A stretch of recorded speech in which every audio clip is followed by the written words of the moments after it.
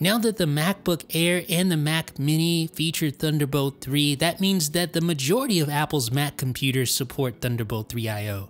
With this in mind, we want to look at some of the best Thunderbolt 3 accessories that you can buy today. That of course includes Thunderbolt 3 docks that can recharge your MacBook Pro or MacBook Air and that give you a whole lot of extra ports. It also includes eGPUs of course, along with things like bus powered audio interfaces and super fast external SSDs. If you have a Mac with Thunderbolt 3, you don't want to miss it.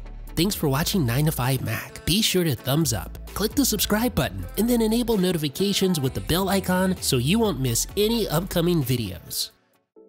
The first thing we're going to take a look at is the Promise Pegasus 3 Direct Attached Storage Solution. It comes with a pair of Thunderbolt 3 ports which allows you to daisy chain additional devices. And this particular R6 model features 6 drive bays, and you can use traditional spinning hard drives or you can use 2.5 inch SSDs if you wish to do so. Now the high-end R8 version of the Promise Pegasus 3 allows you to store up to 80 terabytes in a single unit. Now of course this is a RAID enclosure so you have to keep that in mind, factor that in when calculating the amount of storage space that you will have.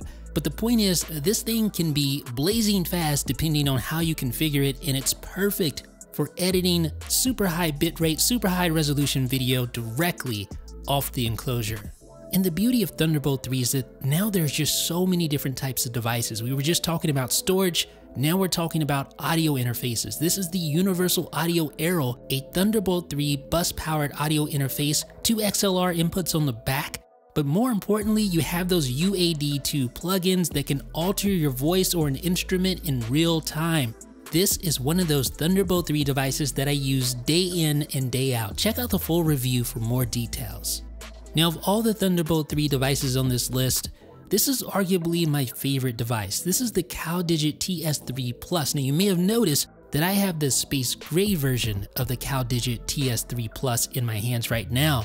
But more importantly is the amount of I.O. offered by this device. You see on the front, you have a UHS-2 SD card reader, tons of I.O. on the back, including two Thunderbolt 3 ports, so you can actually pass through to a Thunderbolt 3 enabled 5K display like the LG Ultrafine, and it's going to recharge your MacBook Pro at full speed, even 15 inch models. The bottom line is that if you need to add more ports to your Mac, this is one of the best ways to do so eGPUs make up one of the biggest reasons why you should be excited about Thunderbolt 3. It allows devices like this, the Sonnet eGraphics Breakaway Box 650, to interface directly with your Mac, boosting its graphics capabilities multiple times over via a single Thunderbolt 3 connection. And of course, this particular chassis has a 650 watt power supply. This is actually the unit that Apple recommends for the top end AMD GPUs that Macs support, like the Vega 64 or the WX9100 from AMD. If you want to play it safe with an Apple recommended eGPU, this is the one for you. However, I have to say I personally prefer the Razer Core X, even though it isn't on Apple's recommended list, this is, in my opinion, the best bang for your buck. It too has a 650 watt power supply that can drive the most power hungry cards out there, but what really makes me like the Razer Core X is the design. It's designed so well, so thoughtfully, it makes it a breeze to install and remove cards with ease without any tools. I'm telling you, the design is awesome.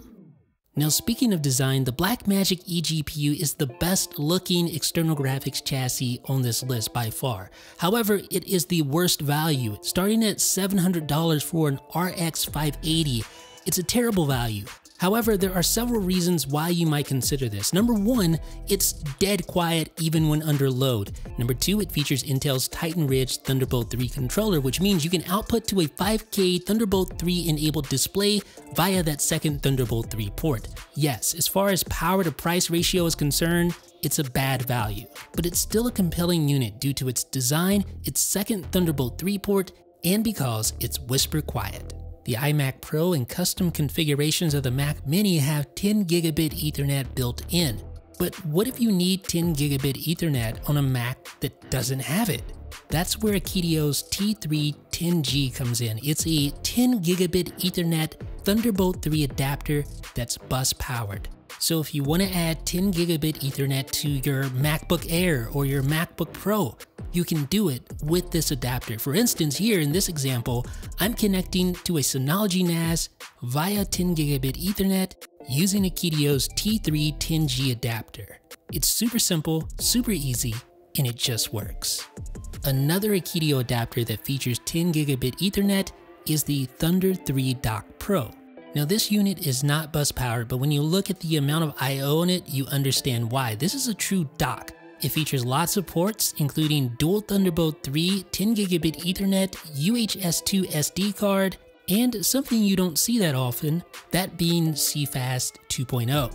There's also USB-A, eSATA, and DisplayPort. The OWC Express 4M2 is a device that I use each and every day. It's where I store all of the video that I'm currently working on. It's an M.2 NVMe SSD enclosure capable of housing up to 8 terabytes that you can access via a Thunderbolt 3 connection. So here's one of the 2 terabyte M.2 SSDs for, get this, a total of 8 terabytes in a RAID 0 configuration. So that gives you a ton of super fast storage space in a compact form factor that's perfect for editing high quality, high bitrate video. And speaking of video editing, LG's ultra wide 5K 2K display is primed for timeline based apps like Final Cut Pro 10, where you benefit from having extra horizontal real estate. This is an upgrade over a traditional 4K display. It's not an upgrade over a 5K display though, so keep that in mind. It's not exactly 5K, it is more like 4.5K. What I really like about this display though is that it features, of course, Thunderbolt 3. That's the whole theme of this video.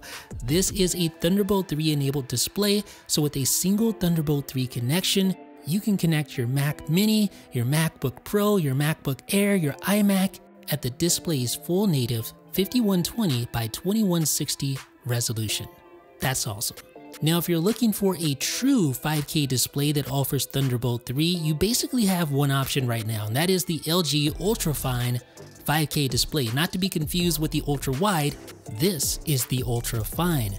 Now what I don't like about this display is that it's Thunderbolt 3 only, so you can't connect a DisplayPort connection to it, there's no HDMI, it's Thunderbolt 3 only, which obviously presents some limitations as far as what you can actually directly connect to this display, so that is for sure worth keeping in mind.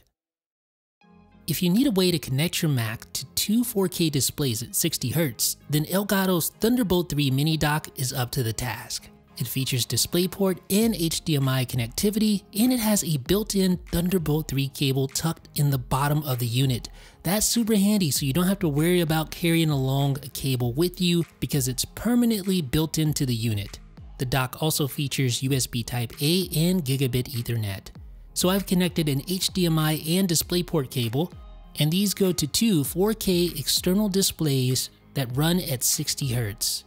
So there's one, and there's two. And the nice thing is, Elgato's mini dock is completely bus powered, making it an ideal solution for connecting to external displays on the go. Next up is Samsung's X5 Thunderbolt 3 SSD. Samsung has the reputation for making excellent external SSDs and this is no exception. The X5 features read speeds up to 2800 megabytes per second. In other words, it feels closer to the speed of the internal SSD in your Mac rather than an external SATA 3 SSD. That makes the X5 suitable for 4K, 5K, 6K, even 8K video workflows. The closest competitor to the Samsung X5 is the G Drive Mobile Pro Thunderbolt 3 SSD. It too features up to 2800 megabytes per second read.